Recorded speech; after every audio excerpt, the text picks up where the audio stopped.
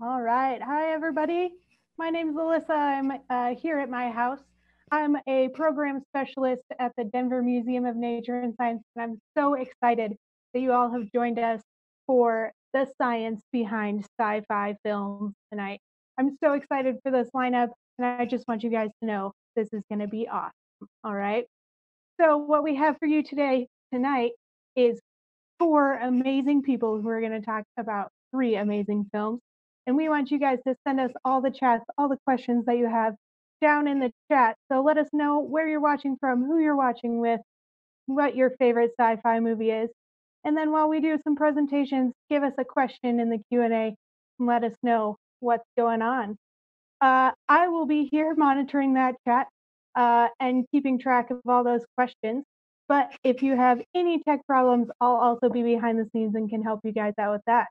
I'm going to turn it over to our moderator, Vincent Piturro. He's here uh, to help guide us through the science behind sci-fi films with the help of three curators from the museum.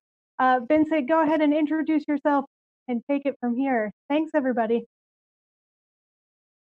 Okay, thanks, uh, Alyssa. Hi, um, this is uh, Dr. Vincent Piturro. Everybody hear me okay out there? Um, okay, good. I see all your hands up. So um, we're we're going to um, we're going to cover three films tonight with um, three of the scientists from the museum. Um, now, for those of you who know the the science fiction film series, we've, we've been doing this for ten years now. This is actually our tenth year coming up this summer, our ten year anniversary. Um, and basically, what we do is um, I introduce the film a little bit. Scientists uh, introduce the science in the film, and when we're doing this live in, in the IMAX, we'll you know watch the film and then we'll come back afterwards and talk about it. But we're going to take the watching the film part out of it um, right now, and we're just going to um, introduce the films, and then we'll get to your questions sort of one by one. We'll be starting out with um, The Martian first, uh, then we'll do Jurassic Park second, and we'll finish up with 2001: Space Odyssey. Um, so the uh, first the first part here is The Martian, and we're going to uh, be doing that with Dr. Steve Lee. Um, so, uh, Steve, would you like to uh, just say hi? Hi, everyone. It's, uh, it's really nice to be with all of you. Um, I'm joining you from my my living room on Mars, as you can see in the background, in my dreams anyway. Um, it makes this uh, sheltering in place easy because on Mars, unless you're in your spacesuit, you're uh, going to be holding your breath a lot. So we're all very safe. And I, I think um, uh, Dr. Lee is going to talk to us about how he's uh, growing potatoes while he's um, isolating there on Mars, and, and and we'll get to that in a in a minute. Um, let me just give a quick introduction uh, to the film, The Martian, which came out just a few years ago. Now, one of the interesting things about this film is um, that it's you know directed by you know one of the great um, sci-fi directors of all time, Ridley Scott. Um, of course, his uh, you know first uh, sci-fi film was Alien, and then he followed that up with Blade Runner. Um, you know, directly after that, um, didn't he left sci-fi for a long time? He didn't want to get pigeonholed as a sci-fi director. So he came back uh, much, much later, many years later, um, that directed Prometheus, and uh, which, you know, wasn't exactly critically acclaimed, and followed that up with The Martian, um, which is a film that I quite like. Um, and I know Dr. Lee, the first time he saw it, had a special relationship with it. I guess um, you could say, and, and he'll he'll talk a little bit about that. Um, one of the things I love about the film so much, though, is is that it tells this wonderful story where basically on this planet for much of the film with just this one person, this one actor, great actor, of course, um, eh, but um, I mean Matt Damon. But we're on the planet with him, just basically the two of us, the viewer and Matt Damon, um, and so we get this this intimate relationship, sort of uh, this one-on-one relationship with the actor in the film, and the way that Ridley Scott kind of handles that with the um, with the video journal that um, Matt Damon's doing, um, with the cameras that he's talking to as he makes his way around. Um, and it really sort of draws us into the film and, and takes this gigantic subject, science fiction, which is so gigantic, asks these big questions, um, and it kind of boils it down to this wonderful one-on-one relationship. And I think um, Ridley Scott is really, really good at doing those kinds of things and bringing that to us. There's a ton of things we can talk about. From my end, I like to talk about the film aspects, the cinematography, the setting, the sound. The sound in it is particularly great, especially if you like 70s disco. And, and I know Dr. Lee is a big fan of that. Um, so he might be able to talk about ABBA, um, but um, or not. we can talk about any of those things. Um, my so my area is I could talk about the film. You can ask me questions about the making of the film, any of that sort of stuff.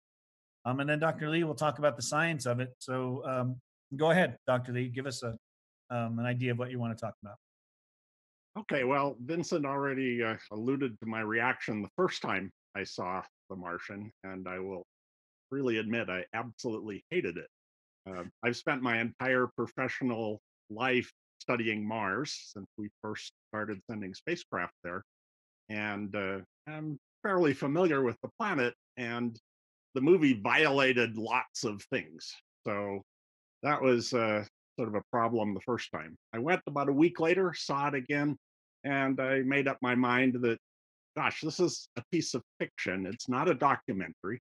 And uh, then once I got over that, I really, really, really enjoyed it, and I think it it's very, very well done. It, uh, you know, I, I'm going to leave it at that because I'm going to start talking about the flaws that I saw, which are where the science comes in. But there's lots of plausible science as well.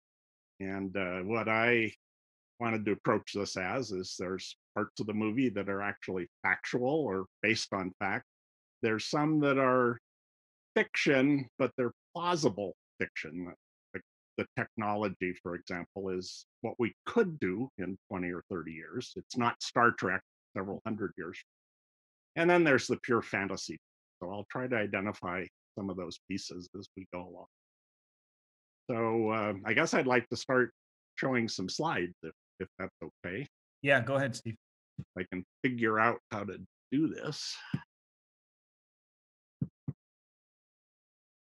So, so I already said what I really wanted to do was separate out fact, the fiction, and, and the fantasy of the movie. And uh, luckily, there's lots in each of these categories.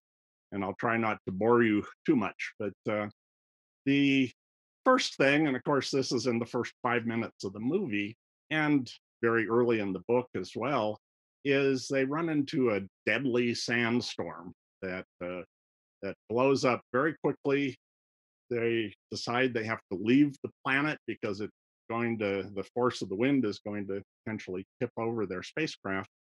And as they're trying to get to the spacecraft, as you see here, they're just enveloped in in sand and dust and rocks flying through the air, and ultimately pieces of hardware that are blowing off of, of their habitat and uh, you know how how real is that and so just by uh, a little bit of background one of the things we know about mars is it has a very very thin atmosphere on the surface um, it's about six tenths of one percent of uh, what earth is. That's equivalent to being at about 80000 feet altitude on the earth. So you need to wear spacesuits which they're doing but the force of the wind is much, much less because the atmosphere is so thin. And we'll talk a little bit about that in a second. But the reality of this is there are lots of wind blown phenomena on Mars. Uh, this is a, a, view from orbit. So at the, the bottom of the screen here, uh, this is the North Polar ice cap. And right here we have sort of a spiral storm, a cyclone of, uh, of dust that's blowing off of the polar cap. And about an hour later, you can see that this is, has drifted uh, about 100 kilometers. So it's moving along just as a storm would on the Earth. And uh, it's obviously raising dust off of the surface. Uh, this is another view. Uh, again, we have the North Polar ice cap here. And here's a what's called a regional dust storm. There's another one. There's another one over here. If I take this one and put it on a map of, uh, of the United States, you can see that this little regional dust storm would actually extend from the Canadian border all the way down into Mexico. And these are very common. Uh, almost any given day on Mars, you're going to have several storms like this blowing around. And uh, one of the other things we see are more localized uh, dust phenomena. This is a dust devil viewed from orbit. This, uh, this is the dust cloud, and this is the shadow of the dust. This is about uh, a mile tall. So it's a really big cyclone that's sweeping dust up off the surface. And what that ends up doing is it removes a layer of dust, and all these black curlicues are where dust devils moved across the surface and, and remove some of the dust. So, uh, in extreme cases, we actually get storms that cover the entire planet. This is two views of Mars taken about two weeks apart in 2001. On the left, the atmosphere is fairly clear. On the right, you can't see the surface at all. The entire planet is under a, uh, a haze of dust, and that's what's called a planetary encircling uh, dust event, or a PD. NASA loves acronyms, so we'll just uh, call this a PD from now on. So we see things like this. There obviously is wind on Mars that's able to move dust, but the problem that this poses for the movie is they're moving a whole lot more than dust. They're actually moving particles that are you know, the size of, of rocks through the uh, through the air. And when you actually do the calculations, um, say it would take something like a, a tropical storm force wind on the Earth to do that sort of damage that we saw in the movie, that would actually require a wind on Mars of almost 500 miles an hour. And that's just not reasonable. So, uh, you know, that's a, one of the basic premises of the book and the movie is that uh, this dust storm, sandstorm, caused them to leave quickly. And that just wouldn't happen. So uh, that's where it comes into really the the fiction part of this.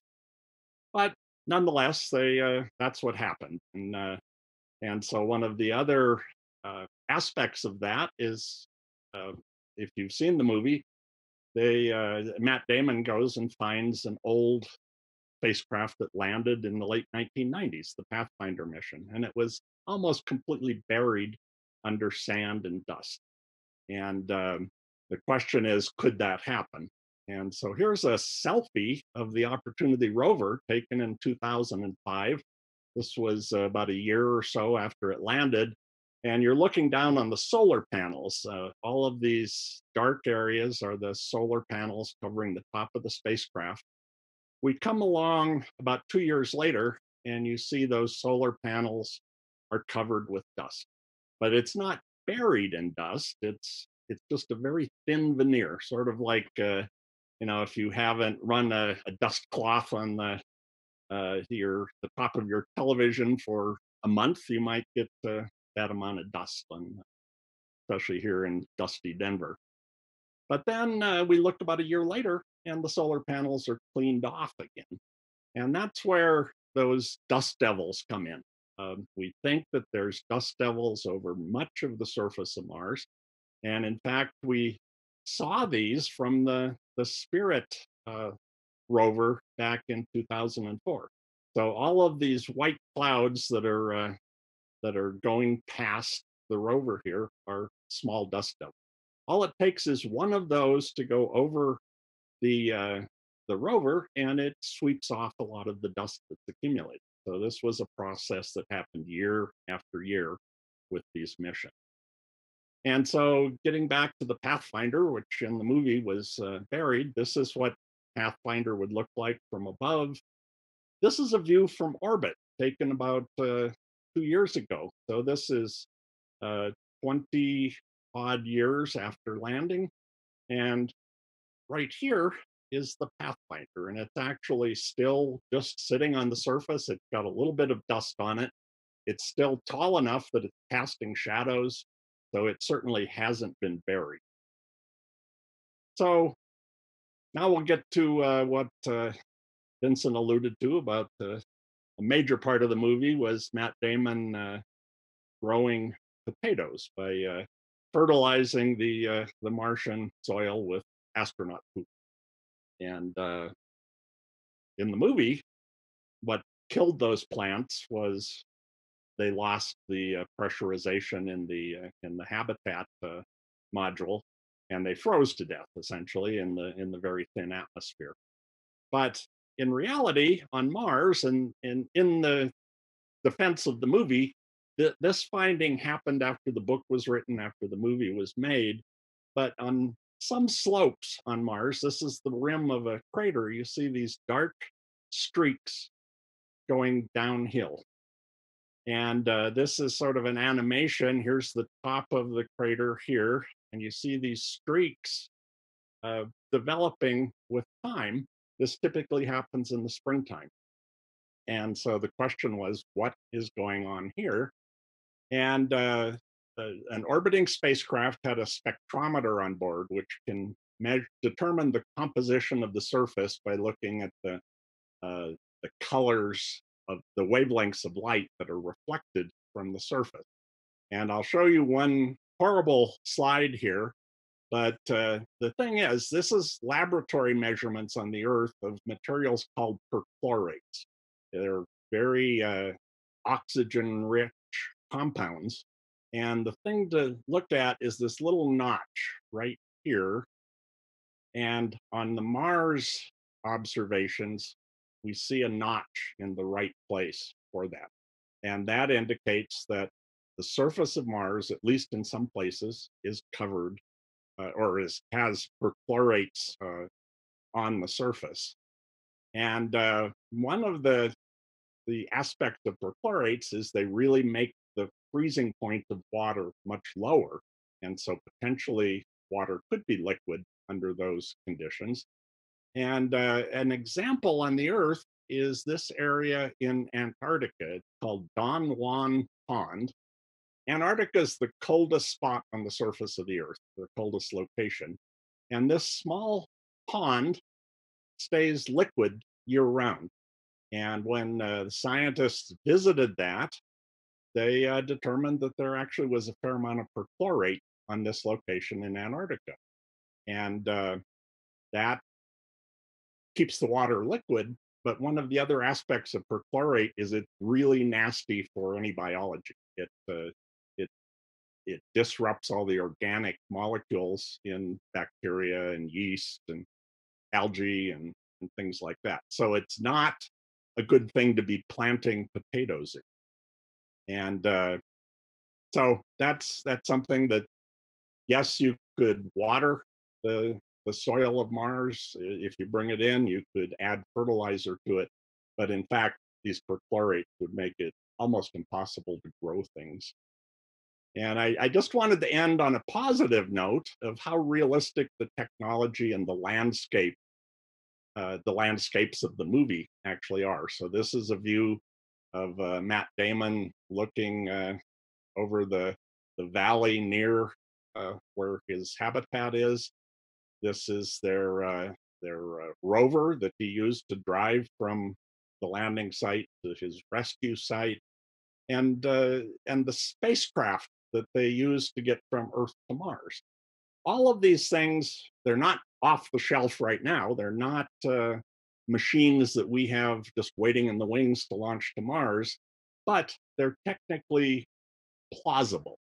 Um, if we were able to spend enough money to do a mission like this, you certainly could, over the course of a decade or more, build things like this. So the technology, I think, is is one of those. Uh, it's fiction right now, but it's plausible fiction.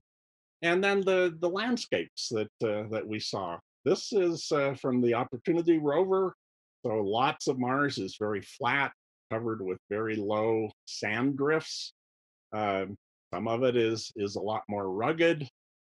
Uh, this is from the Curiosity rover about two years ago. Uh, so it sees things very similar to what we saw in the movie. And this is a view uh, also from Curiosity of its ultimate driving target. Um, in uh, in Gale Crater. So they did their homework, I think, really well on uh, on recreating Mars. And uh, the sort of the frosting on the cake for me was at one point they showed a sunset just like this. And like many other things on Mars, sunsets are a little bit different. They're blue instead of red, and that's because of the dust in the Martian atmosphere and the size of the dust uh, grains compared to the incoming sunlight. So I think given all of this, you know, yes, there's some problems. Uh, I, I, think given that it's a, a, work of fiction and a nice work of fiction, um, we can forgive some of the scientific inaccuracies. And, and the dust storm, which was the biggest thing that I objected to, that makes for a really visually stunning way to force them to get off the planet. So I think that's artistic license. Probably the most realistic emergency like that would be a massive solar flare, and you're not going to see much. and uh, it's a, a, more slowly developing event. So if they had to make a choice, certainly for a movie, I think uh, visually stunning is is probably the way to go. And given all of the other things, I think it was a great introduction to Mars, a great introduction to what human missions to Mars might look like uh, 20 years from now. And uh, you know, ultimately, I guess I'd give it two thumbs up instead of uh, five thumbs down, which was my first reaction. So I think well, at that point, I'd better uh, turn it back over to Vincent. Well, that is a much more sympathetic view of the film than uh, we heard the first time we we talked about this. Now, the film came out in 2015, and I think it was 2016, the summer of 2016, um, Steve, that we presented this um, at, the, at, the, IMAX, and um, and and yeah, you um, you weren't as sympathetic to the film back then, so I'm glad you've you've come around um, to it a little bit. I've and, mellowed with age. haven't we all? Um, it's interesting you mentioned a couple things there. I just want to touch on, and then we're going to get to some of your questions. And there's a lot of good questions. There's quite a lot of questions about water. Can you make water? Uh, what's what's the gravity like on Mars? Think about those for a second, Steve. But I, you you were talking about uh, the views of Mars, the canyons, the landscapes that that were very realistic, and um, I think that's that's very interesting. Um, they actually shot some of the exteriors of the film uh, in in Jordan, um, but um, obviously a lot of it is CGI and uh, computer generated imagery. Now that's that's going to be interesting because in 2015 you could pretty much do whatever you want with CGI and film and make it look like you know Mars, etc. That's going to feed into our our next portion when we get to Jurassic Park. I just kind of want to put a pin in that. Remember when when we get back to Jurassic Park later, we're going to talk about uh, computer generated image imagery because without Jurassic Park, there wouldn't be The Martian. Um, I'll put it to you that way. So we'll we'll kind of get to that a little bit later as far as the as the film aspects go. Um, but but let's talk. Let's get to some of the questions um, have been coming in, and please um, go ahead and add them. We have a few more minutes to, to go over questions than we thought we might. So um, let's talk about um, water, Steve. Is it feasible to make enough water using combustion on Mars? So the the way that Matt Damon did it was he he basically burned hydrazine, which has both hydrogen and and oxygen in it, and it breaks it down, and, and ultimately you have water running out as a combustion product. And uh, I think yes, it's conceivable. I think it's a really dangerous way to do it, as we saw when he sort of blew nearly blew himself up. But uh, that's one of the things that is going to happen on the next mission to Mars, which hopefully is launching in July of this year. They've got a little experiment that can take the Martian atmosphere, use, uh, you know, apply uh, electric currents to it, and you're getting the uh, the uh, oxygen out of the Martian atmosphere by breaking down the carbon dioxide.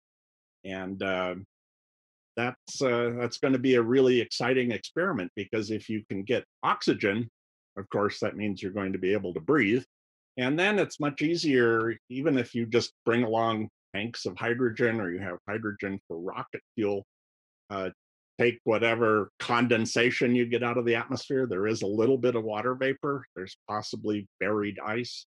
So uh, all of that, I think, feeds into yes, you would probably be able to uh, be self-sustaining in, in terms of the. Now, you said there's a mission going out in July. Do you think that mission is still going to go in, in, in this atmosphere? Well, uh, so far it is. Uh, the uh, the workers on it are doing as much as they can remotely. Obviously, the people that have to mechanically touch the spacecraft, they can't do that remotely, but they're abiding by all of the the separation rules. Just by the nature of building these spacecraft, you're already in containment garments. Uh, you know, they call them bunny suits. These sort of white uh, clean room suits. They have masks on their face. They have gloves on. So the dicey part of that is going to be the launch itself, because launching it, you see images of mission control, there's dozens and dozens and dozens of people sitting there, and each one has a, a very important role to play in the course of the launch. So they're working on how they can reconfigure the mission control centers to separate people um, so they're not sitting elbow to elbow. And uh, they're certainly still launching uh, spacecraft from Kennedy Space Center. So uh, it can be done.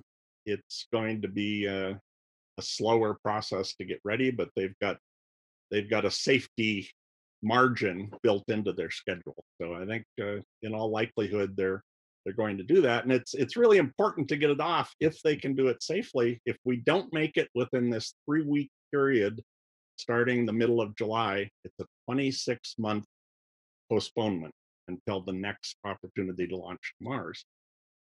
So that's a problem. Now, how long does that trip take? Uh, one way one way trip to Mars. Uh, typically, it's about seven to nine months. It all depends on the configuration of the orbits and and what rocket you use, how heavy the spacecraft is. Um, so, assuming it launches in July up through I think the first week in August is the window. Um, it will arrive at Mars mid-February. So uh, that's actually a fairly uh, fairly speedy transit. Okay, good. Another question. Um, what about the uh, spacesuits um, in the film? What what kind of um, suits would be needed, and is that are those realistic in the film? Well, spacesuits, I think, are going to be one of the the real areas that need to be developed a lot more. Um, we see the spacesuits that they're wearing on the space station, for example, and those are the type of things that it takes you hours and multiple people to get an astronaut into one of those spacesuits to do a spacewalk. I think the uh, the suits in The Martian are sort of modeled on that. They certainly did not appear to be the type of thing that in you know, three minutes you'd be able to go from shirt sleeves to, to being sealed up in a spacesuit.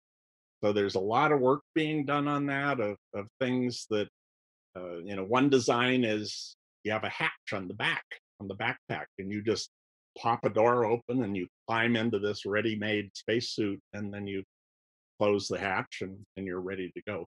There's others that are more like a, um, a leotard sort of thing, a body leotard that uh, that they can can use. So they're working on it. Don't have the answers to that yet. So that's one of those areas that yes, if if they had to, they could certainly do those sorts of spacesuits. It would mean you're not going to be spending 12 hour work days out on the surface or, or doing it every single day. But uh, I'm sure in 20 years we'll have different designs. So I guess that brings us to the next logical question: Is when will we see a manned mission? And uh, don't do we need manned missions to to uh, keep up the interest in in in spaceflight? I, I, think the answer is yes. I'll answer your second question first. Um, I think it's always been the case. You know, we have real exciting robotic missions, uh, the Voyager missions to the outer planets, Cassini, the mission past uh, the dwarf planet Pluto, all the Mars missions. But in reality, those are on the coattails of whatever the, the human missions are.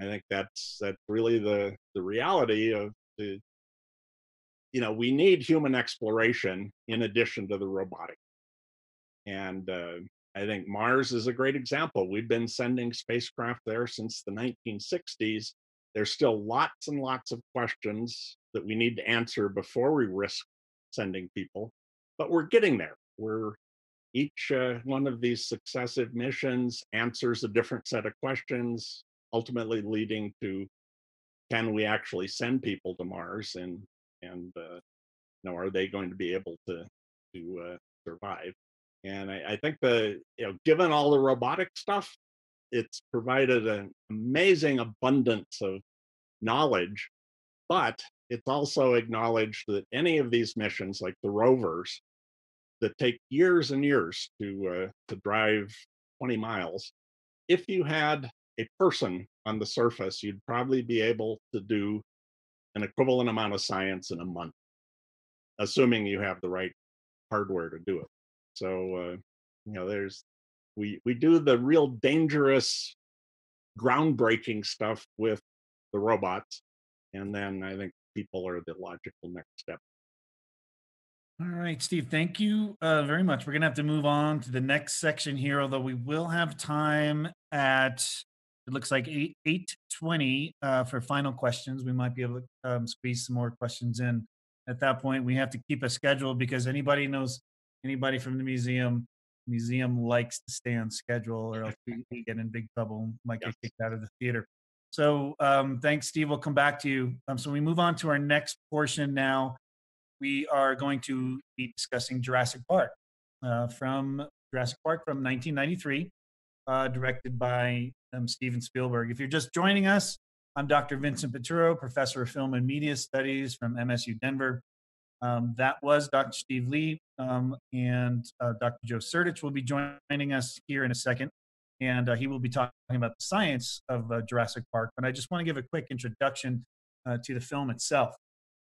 Now, it's it's a really interesting film. I we've probably all seen it. Um, Dr. Sertich has a great story about um, he saw it when I, I think you were what three or four years old in 1993, and uh, and and you um, were inspired to become a paleontologist because of the film. Let me just talk about one aspect of the film very quickly before we get to the science of it, and that is it was one of the more uh, influential films in the course of film history. And the reason being, and is to, to oversimplify it, is special effects. Now, uh, up until 1993, the majority of special effects in film were done the same way, really, since the 1930s. Really, since going back to the groundbreaking work of King Kong in the 1930s. And the special effects in film were mostly done with um, with with models, um, with miniatures, um, with stop motion animation or, or some variation thereof.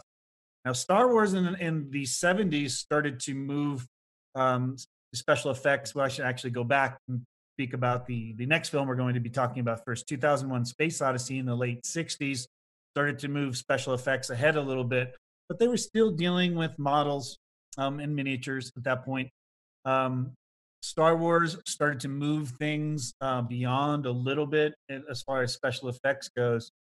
But Jurassic Park in 1993 was really the film that really catapulted um, special effects into really the, the, kind of the next generation, the current generation that we're in, and that was basically CGI. So the the film when it was first conceived was conceived very much along the lines of every other film that had that came before it. It was conceived to be done with models and miniatures, um, with puppets. And uh, that's kind of how they started production of it. Now, as they started production of it, a group came to Steven Spielberg and said, Take a look at this. We may be able to do some CGI, this new technology. They set up computers. Hmm, who knows what kinds of computers there were in 1990 when they were doing this. Um, they set up computers. They they showed some animations of some computer generated imagery, of dinosaurs running. And Spielberg was immediately hooked and he said, let's do the entire film this way. Um, and that really sort of began the age of green screen and the CGI that we know today, which um, you know, obviously just get got better and better and better, and we saw some of that in The Martian. Um, so Jurassic Park is a real inflection point in the history of film because of just that, just special effects. And oh yeah, it's a really fun, great movie uh, too. Um, and Steven Spielberg is just you know such a wonderful director in so many ways. Now there's some great stories about the film. I could go into all those kinds of things if you want. You can ask questions. Um, Hurricane came through in the middle of production. Hurricane Iniki came through. In fact, some of that footage is actually in the film. Uh, but um, we can get to some of those questions later, but allow me to introduce um, Dr. Joe Sertich. And uh, Joe, why don't you go ahead, and take it away, and uh, talk to us about the, the science of Jurassic Park? Yeah, thanks, Dr. Piturro. Um, I think that as I get into the science behind uh, Jurassic Park, and I'll like be, I'll be picking apart some of the science. I think it's important to remember uh, where Jurassic Park came into the science of paleontology itself. So just like it was a, a revelation for a revolution for film, it was the same for the science of paleontology. And so even though I'm going to to nitpick and pull it apart, it's important to remember this is 27 years in the past when this was made. And at the time it was really cutting edge. And it really inspired a whole generation of potential scientists to pursue paleontology as a career. So I'm going to pull open my presentation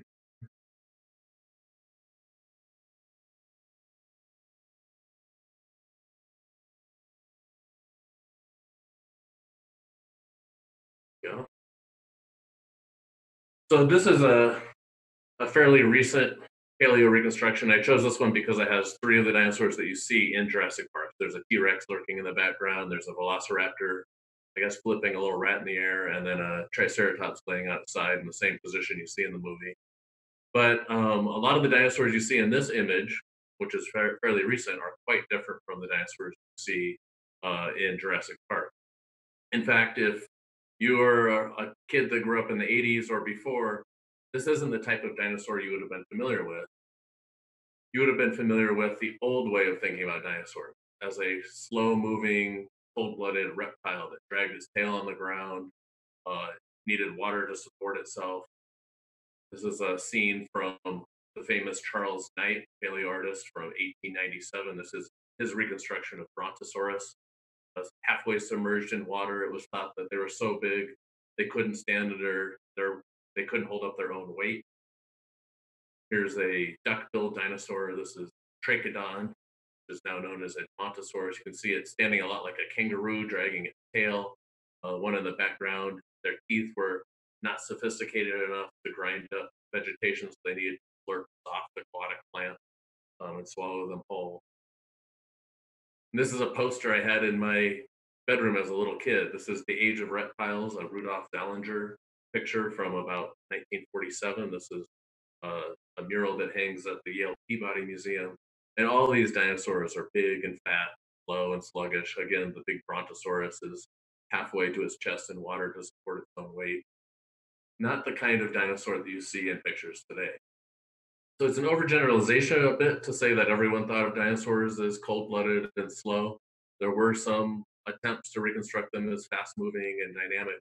This is one of them again by Charles Knight in 1897 called Leaping Laelaps, a tyrannosaur relative, and you see them in a dynamic pose. But really, this was the exception more than the rule for about 100, 100 to 150 years. First uh, part of what we knew about dinosaurs. It really wasn't until this paleontologist, the curator at the Yale Peabody Museum, John Ostrom, started what we call the dinosaur revolution. The dinosaur revolution started in the Badlands of the Cloverly Formation near Bridger, Montana. And it was this particular quarry, 1964, that really switched 150 years of dinosaur research and dinosaur thinking on its head. And from this quarry, Dr. Ostrom unearthed at least five individuals of this dinosaur.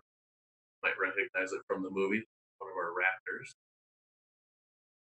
And what he noticed was similarities between this dinosaur, which he called Deinonychus. Deinonychus means terrible claw, and the first bird, Archaeopteryx. So you can see the wing bones, the, the hands of Archaeopteryx and Deinonychus, very, very similar, which led his student, a paleontologist by the name of Robert Bakker to reconstruct Deinonychus more bird-like than any dinosaur had been to that point. This is the 1969 publication of Deinonychus uh, with the student's reconstruction uh, showing it as a fast-moving, agile predator. For the first time, this wasn't a slow-moving, dull lizard. Bakker himself went on to push this idea and popularize this idea. That culminated in the 1980s with his book, The Dinosaur Heresies. And that really had a huge influence later on the movie. And I'll talk about some of the dinosaurs, um, in particular, the behaviors that came from this book. Um, but for those of you who've been to the Denver Museum, notice this Daspletosaurus in the background of the, his book cover. See how that big Tyrannosaurus standing on one foot? Probably looks familiar to you. That is exactly the dinosaur pose for our T-Rex at our front entrance. And that's because Dr. Bakker helped us mount that T-Rex in the early 1990s, right before Jurassic Park came. Another influential paleontologist from this dinosaur revolution period is Jack Horner. Uh, in particular, his discovery of nesting behaviors of duckbill dinosaurs, this one called Maiasaura, the other lizard, in the late 1970s, changed the way we thought of their reproduction and made them a lot more personal. So these dinosaurs weren't just dropping their eggs and moving on like a sea turtle and letting the young fend for themselves. His research showed that they were laying eggs, they were coming back to the nest, they were tending the, the nest, they were actually even bringing food back to the young. It was a completely different way of understanding dinosaurs. And Horner became really, really influential in the series, Jurassic Park and all of its sequels, in part because he was the main scientific advisor. So a lot of his science uh, from this dinosaur revolution period made it into Jurassic Park and all of it. So here he is on the set, I think, of Jurassic Park 3, the big Spinosaurus dinosaur in the back. And the other thing to keep in mind when Jurassic Park was coming out was some of the other discoveries that were going on in the background. So in 1990, this T Rex was found by a woman named Sue Hendrickson. And a lot of people will know not Sue the person, but this dinosaur named Sue. This is a T Rex that was later sold to the Field Museum in Chicago. And just the year before Jurassic Park came out, it was all over the news because the National Guard and the FBI raided the uh, the museum that held Sue's bones and confiscated them. And it became a long, protracted court. And so the the world of dinosaurs was really at a tipping point when Jurassic Park hit theaters. And so again, I'm going to, in a way, tear apart some of the science of Jurassic Park, but it's really important to remember that this is 27 years old, and we've learned a lot about dinosaurs really because of the inspiration of Jurassic Park and what it fueled uh, in paleontology and the next generation of paleontology. In particular, I want to talk about some of the accuracy of the dinosaurs and their behaviors, and then let's talk about cloning at the very end and whether or not we can actually make. So when I pull apart the accuracy of dinosaurs in Jurassic Park, I lump them into three groups. On the left, we have Triceratops, Brachiosaurus, and the ostrich dinosaur Gallimimus that I would throw into a good category. They did a pretty good job. In fact, in some ways, they were ahead of their time in predicting behaviors of dinosaurs uh, in the movie itself. All three of the meat-eating dinosaurs on the right, which happen to be most of the superstars of the film, I put into the bad category. Sorry, T-Rex. Sorry, Raptors. You're in the bad zone. Triceratops. So the Triceratops makes a cameo as a sick animal laying on its side. Overall, they did a really good job of capturing what a Triceratops looked like. Perfectly size consistent. They did a really great job with the horns, skin. I don't really have anything to pull apart with the Triceratops itself. But something that they didn't quite get right was this. This is the big pile Triceratops poo. If you look at the size of a Triceratops it's about the size of a large rhino or a small elephant.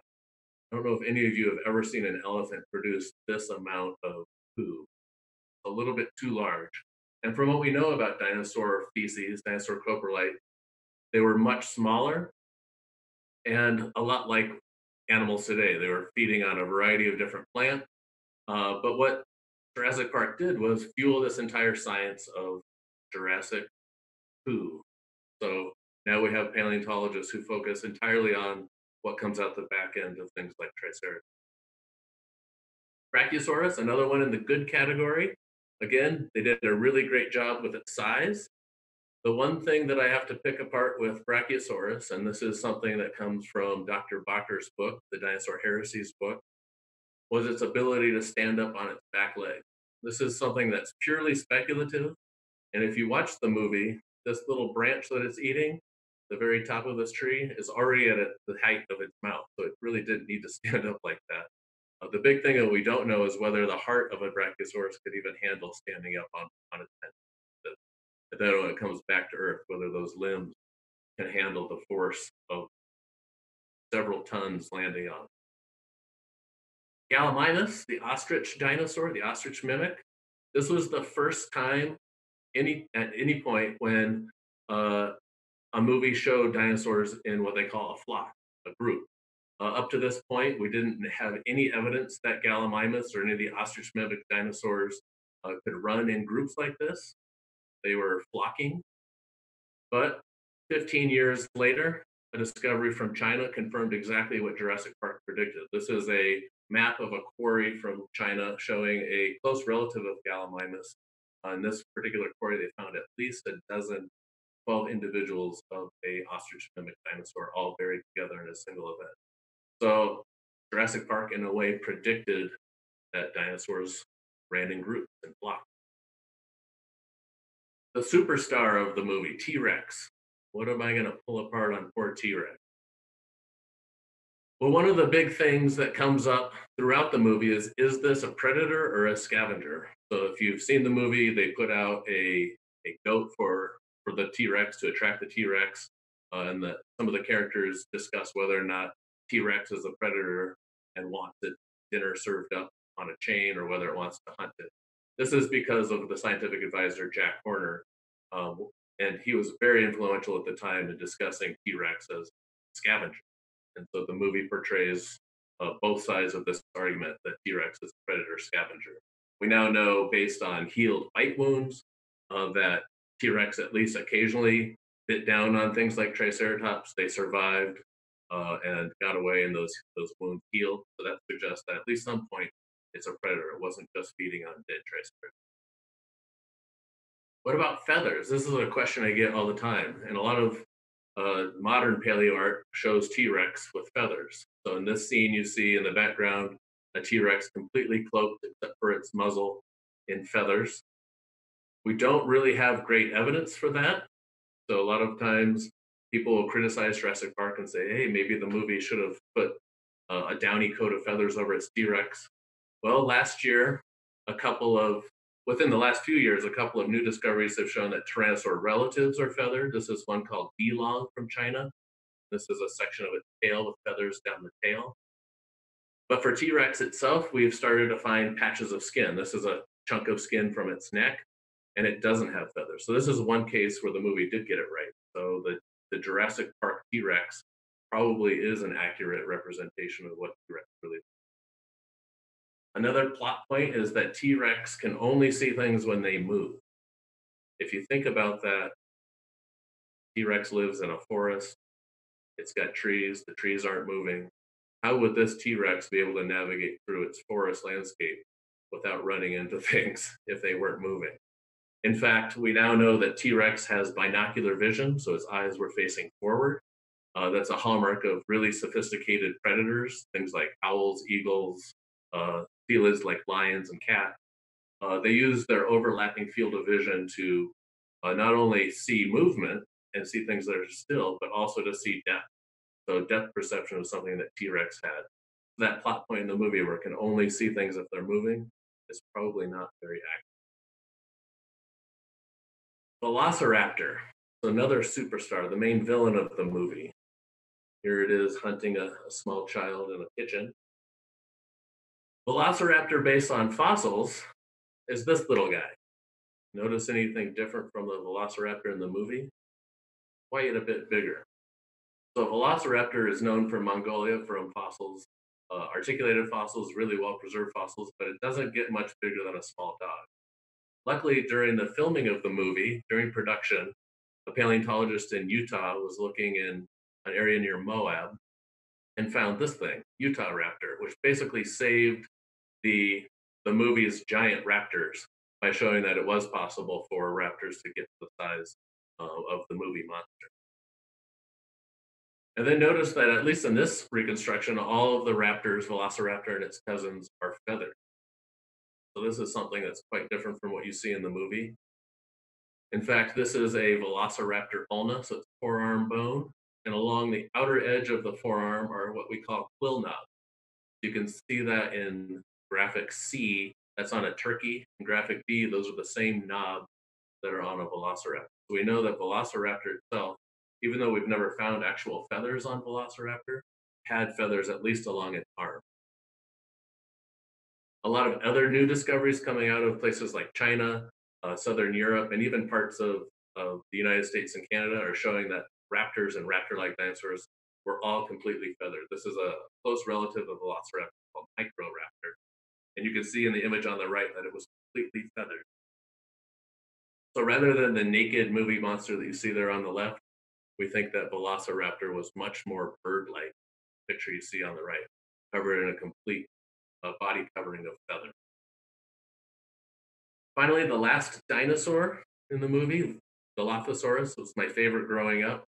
Dilophosaurus is a very charismatic dinosaur in the film, but it was reconstructed much smaller than it would have been in real life. So in real life, the Dilophosaurus is about the size of the dinosaur you see on the left versus the one you see on the right, little movie version.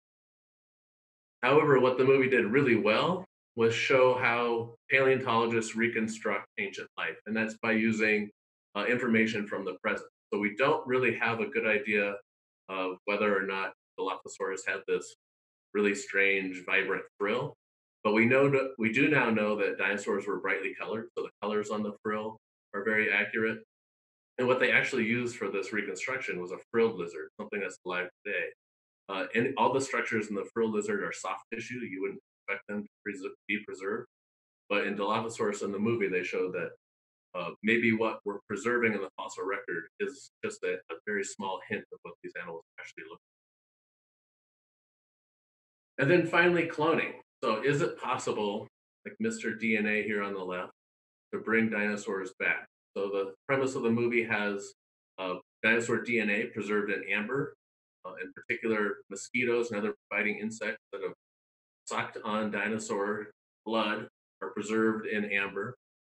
But one of the main problems with this is that the film's dinosaurs come from throughout time. So this would require you to find amber deposits from at least five different parts of the, the geologic time scale from 200 million years ago all the way to 66 and on multiple continents. So to get the vast array of dinosaurs, you'd have to find lots, and lots of different amber deposits. We do have dinosaur chunks preserved in amber. This is a discovery that hit the the news a couple of years ago. This is a small dinosaur tail. Uh, we don't yet have any of the biting insects that the movie used as its premise. Um, and in fact, if you look inside of this dinosaur tail, you can see things like muscles and blood vessels. Uh, but the one thing that doesn't show up is DNA. And that's because DNA is a very, very fragile, unstable molecule. Research on ancient DNA in moas, so extinct birds from New Zealand, shows that DNA has a half life of about 521 years. That hmm. means half of your bonds are broken after 520 years. Another 520 years later, another half is broken.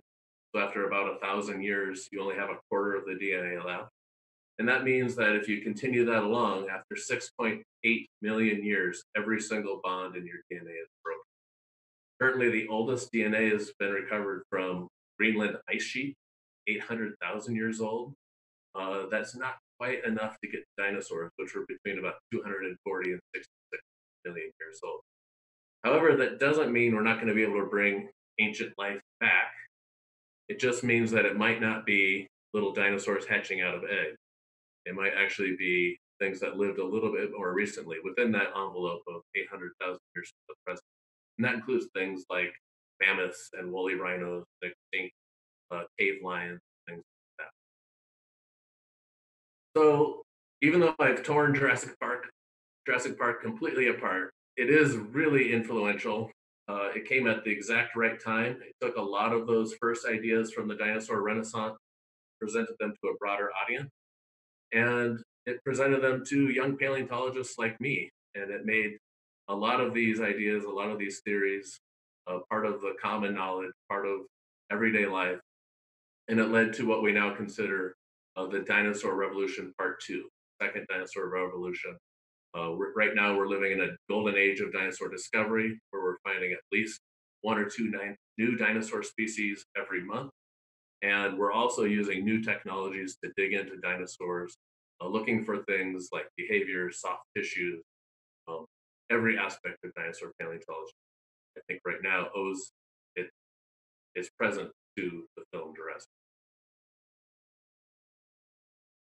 Okay, great, um, Dr. Sertich, thanks. There's a, whole bunch of questions, and um, I don't want to run too far over, uh, but just re- let's maybe go through some of them really quickly. Do we know what dinosaurs may have sounded like? Yeah, so dinosaur sound is uh, an area of research right now. Um, in order to understand sound, you need soft tissues, and that's something we don't have uh, a good fossil record of. Uh, all the dinosaurs in Jurassic Park were reconstructed based on blends of, of modern animal noises, things like tigers and elephants, um, and other mechanical noises that make these creature sounds. Uh, in real life, dinosaurs were probably a blend of what you hear in birds. So large birds make really deep, thumping, uh, guttural sounds. Uh, similar in crocodiles and alligators, very low, uh, uh, low resonating sounds. Probably not the type of sounds that you would have heard in Jurassic Park. But this is a cutting edge of of dinosaur research right now. In fact, I'm working with some scientists at the University of Colorado Anschutz campus in their audiology department, where they study hearing and we're looking at how dinosaurs' head shape might have influenced the soundscape, so the way that they receive uh, sound. So the big frills on things like Triceratops, did that help funnel sound into their ears? Did the horns on their face uh, distort sounds and make it difficult for them to hear a T-Rex coming from the front? Good. And uh, you, you, talked a little bit about of um, a little bit about modern descendants. Can you um, extrapolate what what um, modern descendants of dinosaurs are still around? Yeah. So some of that early work in the dinosaur renaissance, when we first found Deinonychus uh, and showed that it was very similar to Archaeopteryx, the first bird, led to a whole host of new discoveries that have shown that birds are a living form of dinosaur. So we all think dinosaurs went extinct with a big asteroid 66 million years ago. But in fact, several lineages of dinosaurs survived. At least three that we know of, three different types of bird, bird lineages, made it through the KT boundary, that extinction event, and are around us today.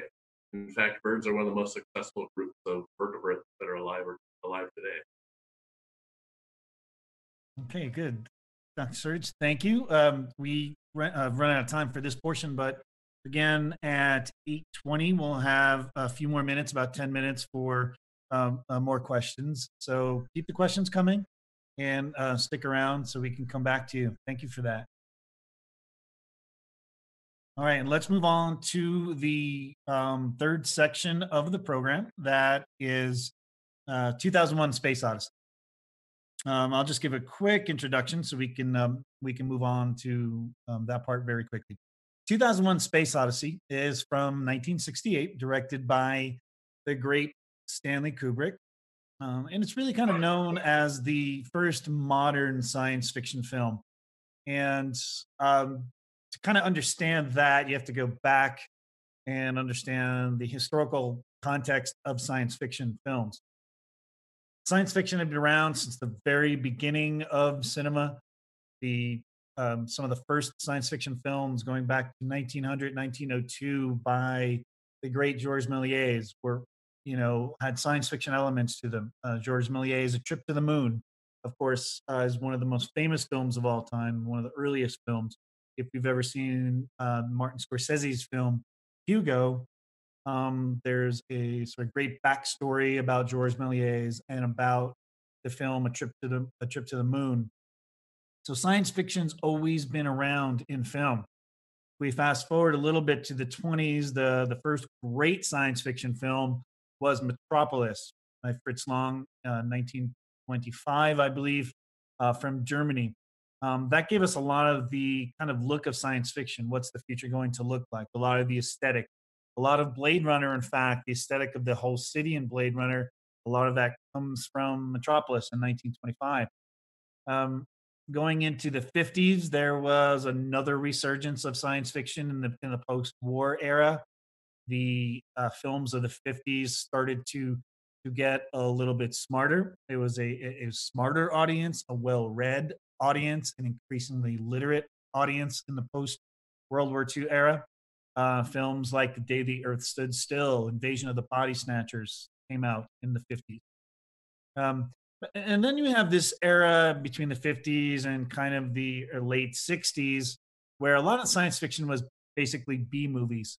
Um, creature from the black lagoon the blob that that sort of stuff. Um, and then came um, stanley kubrick 1968 with 2001 space odyssey which was a lot of things. Um, but specifically in terms of science fiction it was a serious science fiction film. It was an adult science fiction film and is an intellectual science fiction film. And um, Dr. Yu is going to speak to this in a moment, but uh, one of the things that um, Stanley Kubrick really wanted to do was be very scientifically accurate. Um, and uh, you know, we'll, we'll go, um, we'll talk about that quite a bit but the production itself was a gigantic production. Uh, took years to make. They brought people in from all over the world. They shot it on sound stages um, in London, except for a few landscapes they shot in Africa for the first section of Prehistoric Man. That whole section, um, but um, they brought people from all over the world came in to see the production and what was going on. And, and one of my favorite stories about the making of it, and I'll I'll turn this over after this story, is that um, American scientists came in at one point and then Russian scientists came in at one point. This is about 1967. I consider the atmosphere in the world in the Cold War era. And um, so the, the Russian scientists came into the capsule, one of the capsules that we're using, came onto the set and they looked around and they said, wow, this is really great. This is really interesting. This looks really accurate, except for one thing. In the future, all the instructions are going to be in Russian, not in English. Um, but let me introduce Dr. KaChun Yu, um, who is going to speak to the science of the film. Um, and then we'll have some time for questions about 2001, and then we'll come back and answer questions for all the panelists. So go ahead, Dr. Yu, take it, take it over. All right, thanks a lot, Vincent. So um, I'm going to switch over my screen as well.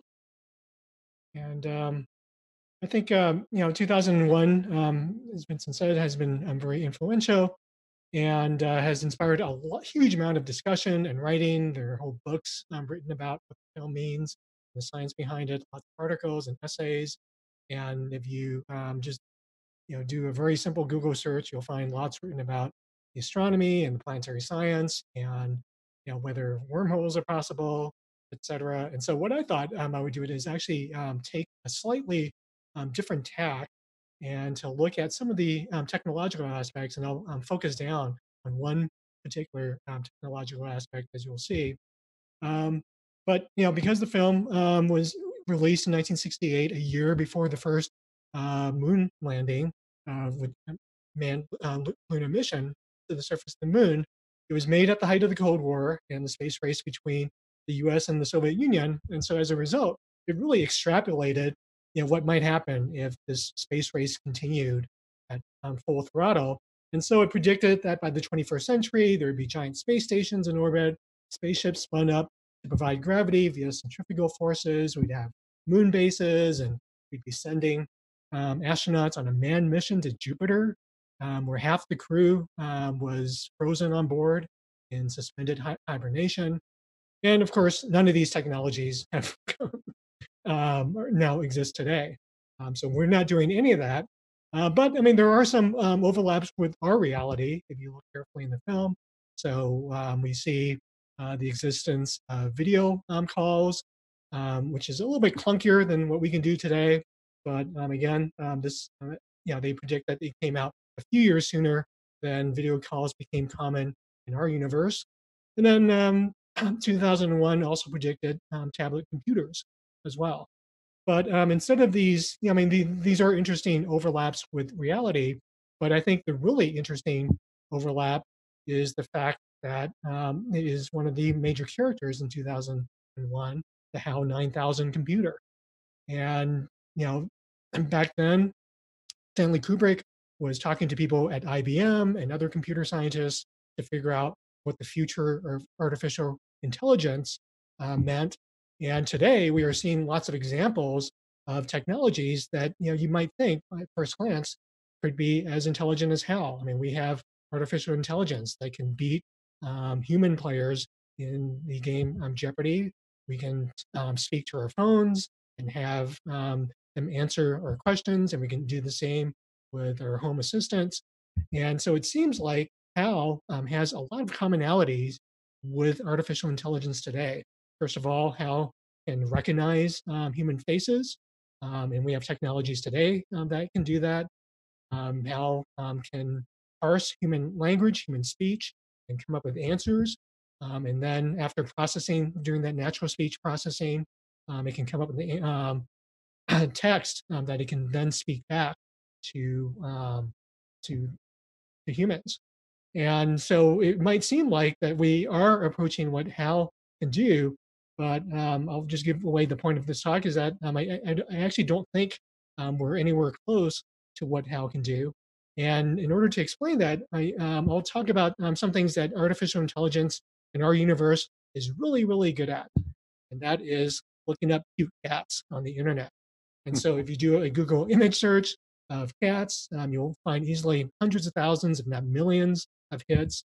You can do the same on YouTube, um, where you can pull up at your fingertips um, cute videos of cats doing cute things.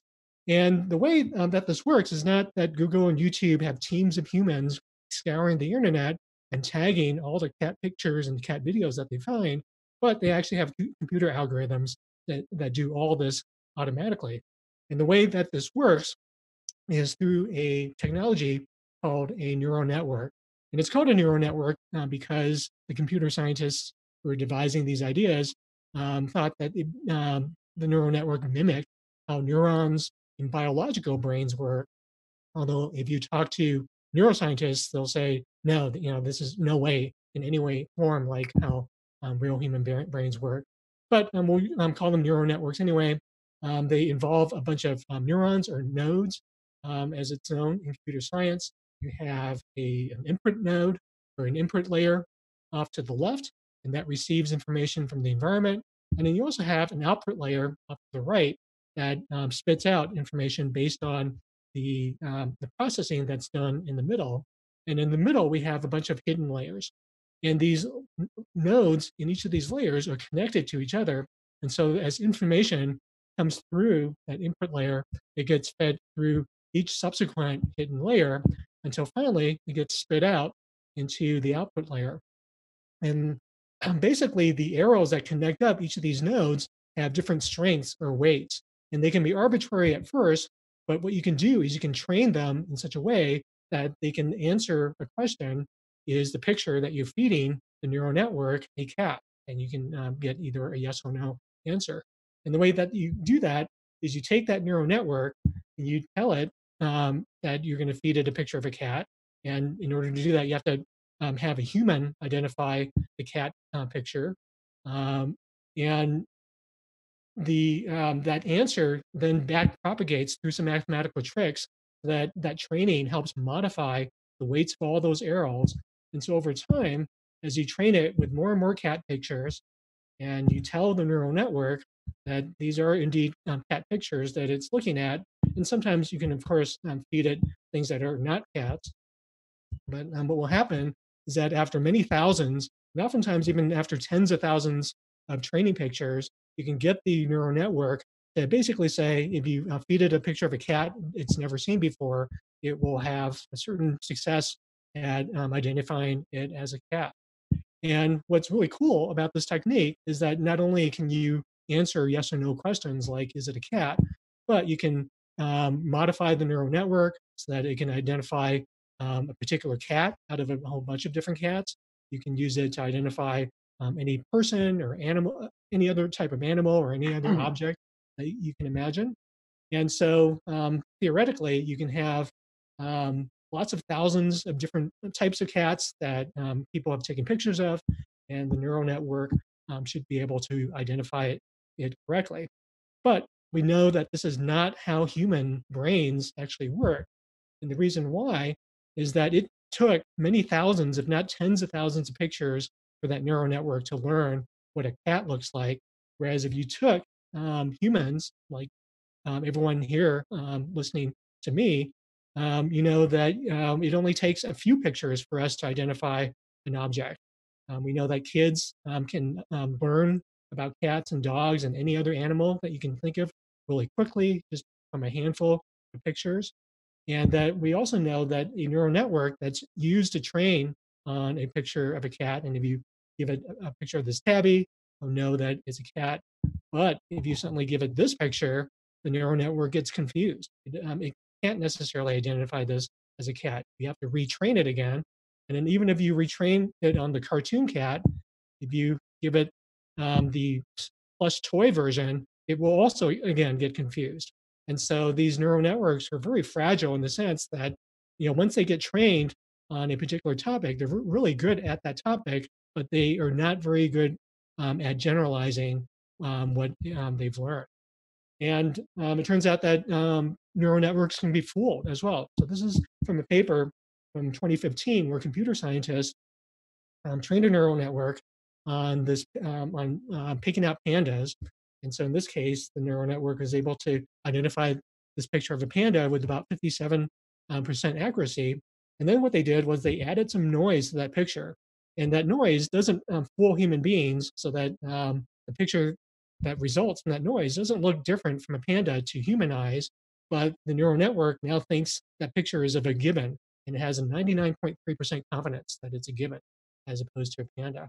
Uh, now, normally, you, know, you don't think uh, this type of fooling um, would have any impact on our lives because you know who cares if the neural network confuses pandas and gibbons but artificial intelligence and neural networks are used in a lot of other applications other than image um, identification. So there's a huge move right now to create self-driving um, cars semi-autonomous or autonomous vehicles and these autonomous autonomous vehicles have to have to be able to identify street signs. Here's another paper just from two years ago where the computer scientists were able to add um, some spray paint or some graffiti to um, street signs.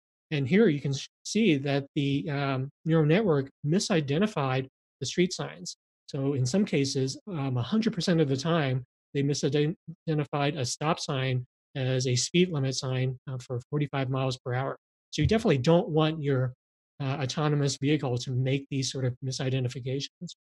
Now, in comparison, the HAL 9000 computer does a really great job at um, ident- identifying everything. Um, it can identify um, Frank Poole and Dave Bowman, the two astronauts who are awake. And um, when Dave is making drawings of the astronauts or, in hibernation, um, HAL is able to identify them as well. And presumably, Dave didn't have to draw hundreds or thousands of pictures um, of those sleeping astronauts in order for HAL to be trained on them. And then the other thing about Hal is that um, he exhibits what we call um, general artificial intelligence, meaning um, thinking in a way that human beings think. So Hal um, is able to understand events and he's able to make and execute plans that were not in his original programming. So um, when he thinks that the astronauts are out to um, destroy his mission, he comes up with this really creative plan to uh, kill off the astronauts. And so presumably Hal wasn't programmed to um, to think about ramming an astronaut um, with a pod and to cut off their life support. But Hal um, was able to creatively come up with these ideas himself. And then Hal was also able um, and aware enough to notice that Bowman left his helmet in the pod bay when he goes out to retrieve Frank Poole's body.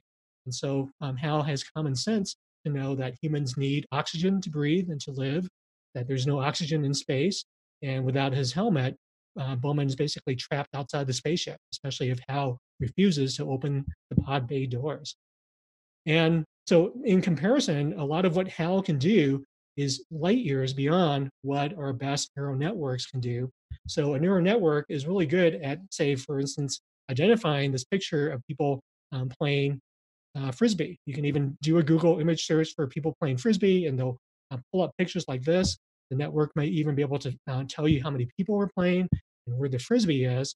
But as AI researcher Rodney Brooks um, talked about, you know, the AI doesn't really have uh, any more context than this. It doesn't know how big the frisbee is, how heavy it is, typically how many people play frisbee. Is today a good time to play frisbee? Or toddlers good at playing frisbee, and so forth. Um, artificial intelligence don't have the context or knowledge and common sense to really understand the background um, to a lot of the questions that Hal is able to answer. So, for instance, here is a question that I typed into Google who won the Super Bowl. And because Google scrapes um, websites and it knows um, through its um, artificial machine learning that who won the Super Bowl is often associated with the answer here, the Kansas City Chiefs, um, who won this year.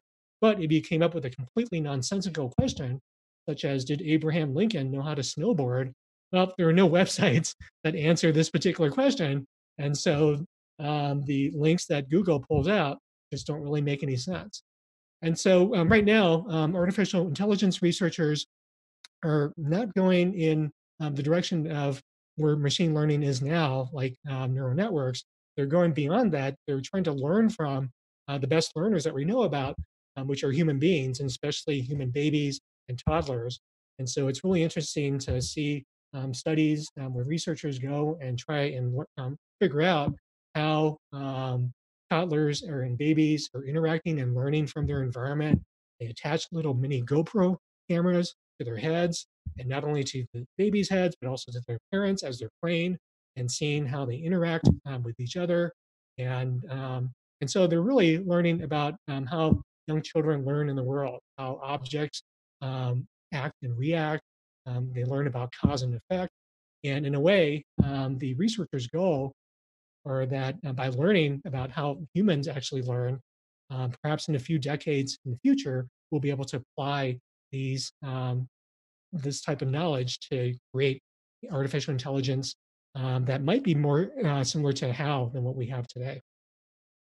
All right, thank you. Hey, thanks, Dr. Yu. Uh, we have time for a couple of questions uh, just on 2001. Uh, one of the questions that came in is how close is IBM's Watson to Kubrick's HAL?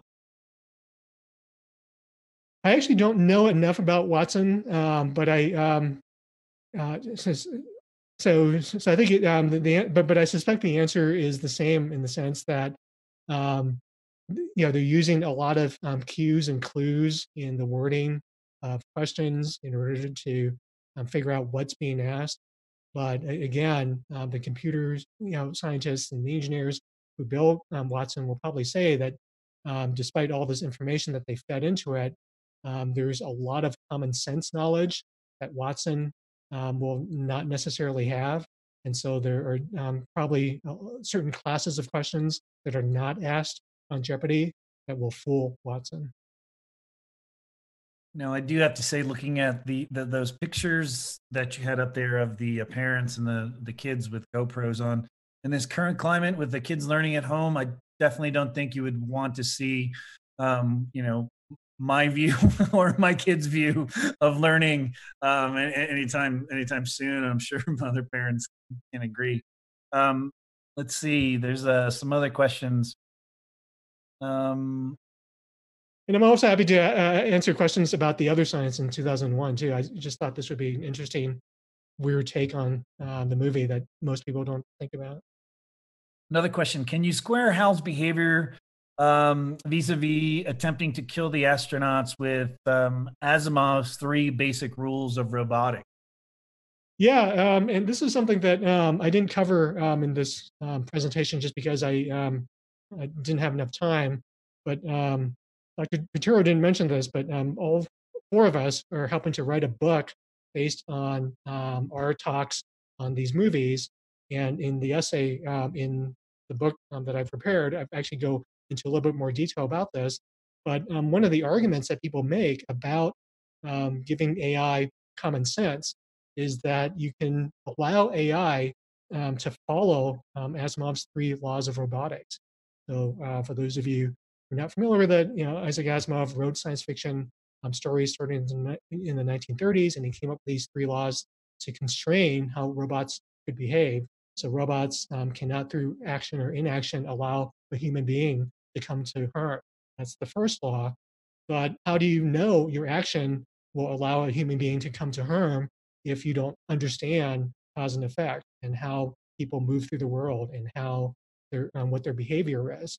Um, it makes more sense that um, an AI like the um, artificial intelligences that we see running like Skynet in the Terminator movies or the AIs that run the um, world in the Matrix movies, um, they don't fully understand cause and effect, and um, and so their immediate you know goal is to enslave humanity or to wipe them out because they think that you know, the machines are better than the humans. But if you can instill a sense of cause and effect and knowledge about um, you know how the world works, you can instill ethics. And so some of these artificial intelligence researchers think that it's really only by adding that context, that common sense knowledge, can you have ethical artificial intelligence. Okay, interesting. Um, one other question, really quickly, before we move on. Um, when Siri first came out, it didn't understand accents. And is that a lack of neural network training or something else basic in the language programming? No, that's um, entirely um, the training um, that's the problem. So not only um, did Siri not um, you know, wasn't able to understand accents. And I think you know it's gotten better, but um, there are still studies that show that for people who um, speak like a slight accent that's different from the mainstream accent, it might still have trouble. Um, but a lot of the um, facial recognition software um, that's out there has traditionally been trained on, let's say, you know, white male faces, and so the the accuracy for female faces drops, the accuracy for uh, people of other uh, ethnicities and um, other races, um, that um, drops as well. So it's actually a really big problem um, when um, the training data that you have or that you're using doesn't reflect the population that you're trying to serve. Okay, good. Um, thank you, Dr. Yu. We're going to uh, move on to the last section here, which is uh, about nine minutes for questions with all the panelists. So if you have questions for any of us, um, please go ahead and um, and send them in. Send them in right now. One of the questions that came up before Dr. Sertich about Jurassic Park was, what are the even if we could figure out the DNA issue with bringing dinosaurs back, are there any ethical implications involved in, with that? Yeah, and I think that extends to more than just dinosaurs. Bringing back any recently extinct or fairly recently extinct organisms we have to look at the state of the world. Um, is this the kind of place that can support a large meat-eating dinosaur or a large mammoth? Um, when we have other animals going extinct all around us, do we put those resources into saving wild places, saving wildlife before we lose them, rather than trying to bring back a single mammoth or a single T-Rex? Okay, oh, interesting. Um, Dr. Lee, about the, the Martian, somebody had asked before about what are the chances of there being a a private mission to Mars before you know there, there is a sort of NASA mission, a SpaceX mission, or, some, or something like that. Right. I, I SpaceX, I think, is the real wild card here. Is they're pushing forward very rapidly to make a really large, very capable rocket that potentially could be flying in the next year or so. And this is entirely designed to carry people to the moon and people to Mars ultimately. And uh, Elon Musk, the the uh, head of Tesla and, and SpaceX, he's said many times that is his goal is to uh, during his life to establish a colony on Mars. And he said he hopes that he will die on Mars, just not in the bottom of a smoking crater by a failed landing. So uh, I, I think if I had to lay money on it, I'd say there's a pretty high likelihood that it's going to be private missions that are wow. the first ones to get to Mars with humans. That's interesting. Thank you. Um, Dr. Yu, we talked about um, the scientific accuracy in, and and um, Jurassic Park and in The Martian. Can you speak um, pretty quickly to the accuracy in 2001 Space Odyssey. If you ignore the um, you know the sequence at the very end um, where um, Dave Bowman goes on this um, trip to um, other parts of the universe, um, you know 2001 for a long time has um, usually people have recognized it as probably um, one of the most scientifically accurate uh, movies, especially the portions involving space travel and um, you know having uh, people um, how to work and live in space. And um, and you know from what I remember, some of the um, the cribbles that people have been able to identify have been things like you know when the um, when the moon um, shuttle lands on the moon and, and comes down, you can see it pick up dust because of the um, propulsion um, pushing down. People complain about the fact that the dust that's being kicked up looks like it's being filmed on a set on Earth because here on Earth you have air resistance, and so the dust moves in a particular way, whereas on the moon, see that see uh, the dust moving correctly. So um, right now, people are quibbling over you know very minor details in 2001, at least in the um, the space portions. But for the most part, um, it's usually viewed as being a very accurate movie. And um, just to follow up a second on that, how um, accurate are the instructions for using the zero G bathroom? Are, are they um, scientifically accurate? Well, I mean, it takes a really long time to uh, to read through that, and uh, as as far as the only um, actual joke in the entire movie, um, yeah, I, I, think it's still you know pretty effective, even though um, I have not read those instructions myself. All right, thank you. Um, let's see, Dr. Sertich, uh, in Jurassic Park, how realistic is the use of frog DNA to fill in the gaps? Yeah, it was an interesting choice given that um, when Michael Crichton wrote the book and developed the screenplay, that was well into the dinosaur revolution where we were already showing connections between dinosaurs and living birds. Uh, why would you use a frog that's distantly related to dinosaurs rather than a chicken or an ostrich to fill in those gaps? Um, and I, I, don't know why, other than the reproductive angle, the fact that um, if you grab the wrong sequences from frog DNA and stick them into dinosaurs, there's potential, I guess, for uh, cascading the reproductive biology of a frog into a an advanced reptile like a dinosaur, so that you could have breeding. Um, other than that, it should have been a bird. I don't know why. Okay, good. Thank you. Um, Dr. Lee, can you talk about the book version, The Martian? Um, is the, the is the book uh, more scientifically accurate than the film, or does the film follow along closely with the book? I think for the most part, everything that is in the movie is in the book. I think the converse is also true. There's there's lots of things that are in the book that didn't make it into the movie. It would be a 10 hour movie if they did that. And I think part of what's done really well in the book is is talking about all the trials and tribulations of that long drive that he had to do to get to the to the uh, to the other uh, site with the, the spacecraft that would carry him into orbit. Um, that, for the most part, was cut out of the the movie, other than it was any week long. Uh, and talking about the uh, sort of the details of generating the water and the details of planting the potatoes, things like that. It's a lot richer in the in the book. So if you haven't read the book and you've seen the movie, I, I think I would highly recommend it. It's really uh, very very engaging. Okay, good. Thank you. And I think we have time for one more question. There's a sort of general uh, space question, Dr. Yu. I think you probably answer this. Um, I've read that extended time in space causes irreparable damage to human bones, even with people exercising, etc. Uh, would the crew be able to survive the extension of their time in space? And I think they're talking about the Martian. Dr. Yu, would you uh, be able to answer that?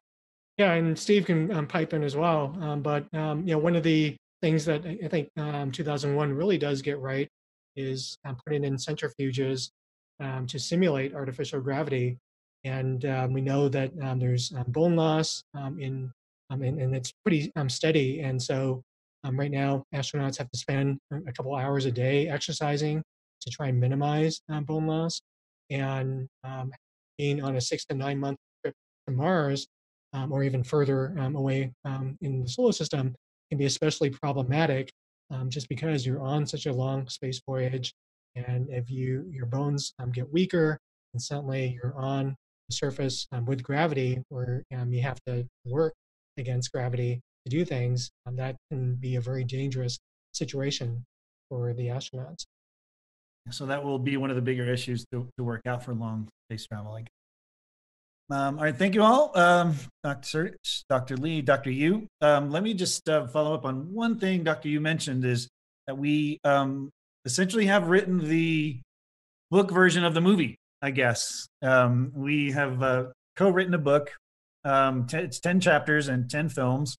I write half of each chapter on the art of the film and then uh, one of the scientists writes the other half of the chapter on the science of the film. Dr. Yu has written three of the chapters, Dr. Sertich on uh, Jurassic Park, Dr. Lee on uh, The Martian, and uh, there's several other chapters of the book as well. That's at the publisher. Thankfully, they have everything they need.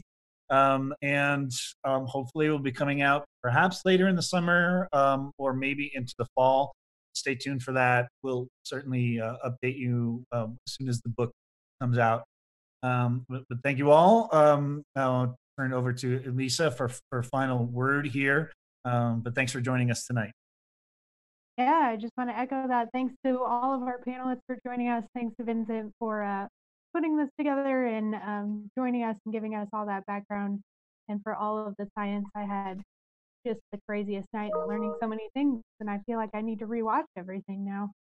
Um, I just want to do a quick plug. We do have a sci-fi film series that we're hoping to start July 1st at the museum.